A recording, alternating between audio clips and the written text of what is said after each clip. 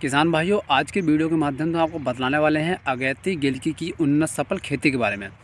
देखो, गिलकी को हमारे देश के अंदर अलग अलग राज्यों के अंदर अलग अलग नाम से आना था कुछ जगह पर इसको नैनुआ भी कहा जाता है, कुछ जगह पर इसको तुरई भी कहा जाता है, कुछ जगह पर इसको गिलकी भी कहा जाता है। तो देखिए, मैं यहाँ पर सिंपल तुरई नाम का शब्द का इस्तेमाल करूँगा तो आप उसे समझ सकते हैं क्योंकि अलग अलग राज्यों के हिसाब से अलग अलग नाम से इसको बोला जाता है। अपने यहाँ पर अगर मैं बात करूँ तो हमारे यहाँ पर देखिए इसको तुरई के नाम से बोला जाता है। तो आज की वीडियो के माध्यम से आपको ये बताएँगे, अगैती तुरई की खेती आपको कब करनी है, कैसे करनी है और किस प्रकार से आप अपनी फ़सल को ग्रो करते हैं। आगे चल के जब आप इसको मंडी के अंदर लेके जाएँगे तो आपको जिसका रेट मिलने वाला वो भी काफ़ी ज़बरदस्त यहाँ को मिलेगा। तो मैं आपको पूरा लाइव डेमोस्ट्रेशन के साथ दिखाऊँगा और पूरा ए टू जेड गाइड करने को कहूँगा किस प्रकार से आप अगैती के लिए खेती कर सकते हैं। और जैसे कि जानते हैं, अगैती खेती के अंदर सर्दी का मौसम रहता है तो सर्दी के मौसम में भी आप किस प्रकार से इसको ग्रो कर सकते हैं, वो जानकारी भी आज हम इस वीडियो के माध्यम से देने वाले हैं।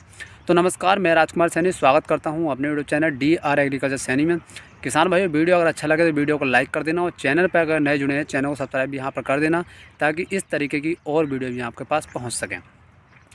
तो सबसे पहले देखिए, अगैती गिलकी की खेती जो होती है, वो लगभग पंद्रह दिसंबर से हमारे किसान भाई स्टार्ट करते हैं और पंद्रह जनवरी दिसंबर से लेकर वो पूरी जनवरी तक इसकी खेती कर सकते हैं। अब बात ये आती है इधर किसान भाइयों के मन में एक सवाल रहता है कि भैया पंद्रह दिसंबर के बाद बहुत ज़्यादा सर्दी पड़ती है और जनवरी के महीने में बहुत ज़्यादा सर्दी पड़ती है तो इसलिए हमारे, हमें जो यहाँ पर फ़सल को बचाना भी काफ़ी कठिन होता है और साथ में सर्दी के मौसम में फ़सलों में ग्रो भी बहुत कम होता है किस प्रकार से हम इसको ग्रो कर सकते हैं? तो चलिए सबसे पहले देखिए आप जहाँ पर गिलकी की खेती करना चाहते हैं तो उस खेत को आपको पहले बढ़िया तरीके से तैयार करना पड़ेगा। बढ़िया तरीके से तैयार कराने के बाद जहाँ पर आपको गिलकी का बीज लगाना है, जैसे कि आप जानते हैं गिलकी का जो बीज होता है, वो काफ़ी दूरी पर लगाया जाता है, इसलिए जहाँ पर आपको बीज लगाना वहाँ पर क्या करना आपको पहले मिट्टी को बढ़िया तरीके से भरभरी कर लेनी है, भरभरी करने के बाद उसके अंदर आपको प्रॉपर प्रॉपर वहाँ पर आपको देसी खाद मिला देना, अच्छी मात्रा में, कम से कम दो साल पुराना आपका देसी खाद होना चाहिए, और साथ में आपको डीएपी और थोड़ी मात्रा में सल्फ़र भी मिला देना। तीनों को मिक्स करके आपको ज़मीन के अंदर प्रॉपर मिला देना। मिलाने के बाद उसके अंदर आपको पानी भर देना। पानी भरने के बाद जब आपका वो, जहाँ पर आपने उसको मिलाया, वो ज़मीन खुशक होया तो उसके बाद में आपको यहाँ पर बीज की रोपाई करनी है।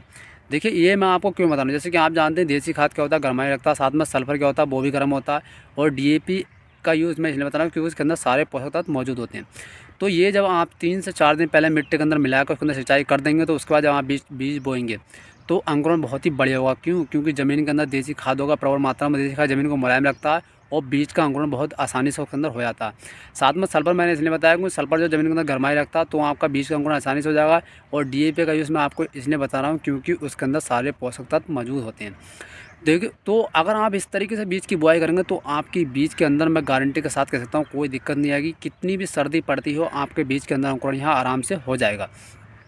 और देखिए तक किसान भाई करते हैं कि हाँ वो ना तो देसी खाद मिलाते हैं, ना उसको तैयार करते हैं, ना डी मिलाते हैं सल्फ़र मिलाते हैं, सर्दी के मौसम में ऐसे बीज की रोपाई कर देते हैं।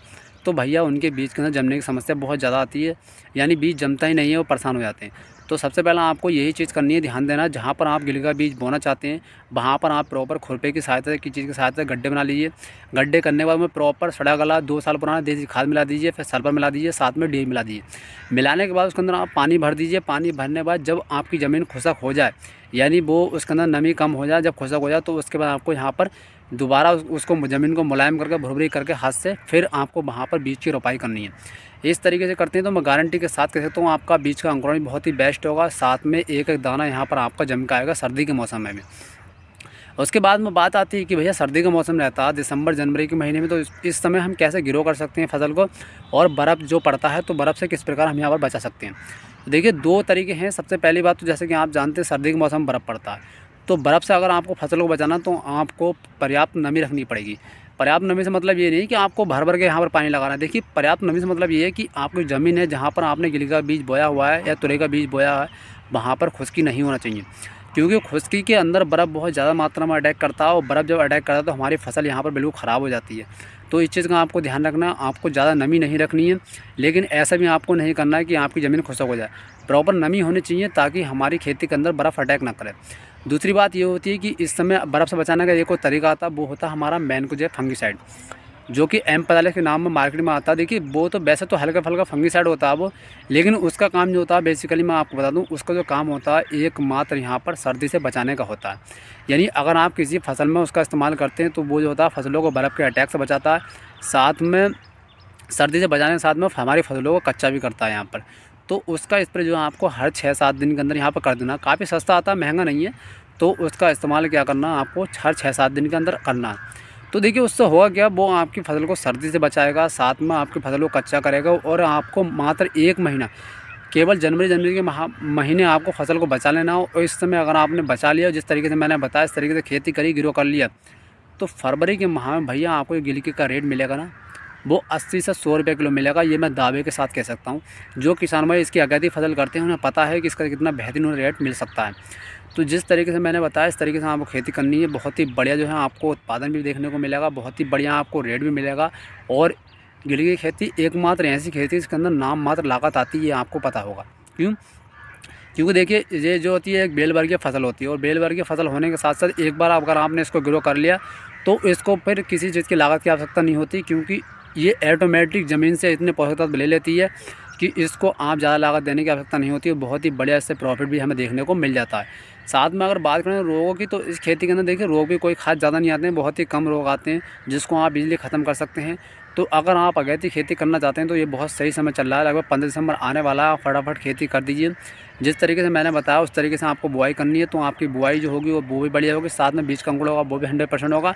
और जिस तरीके से मैंने आपको दवाइयों का प्रयोग बताया, अगर आप इस तरीके की दवाइयों का प्रयोग करते हैं तो आपकी गिलकी की फ़सल में कोई भी नुकसान यहाँ पर नहीं होगा।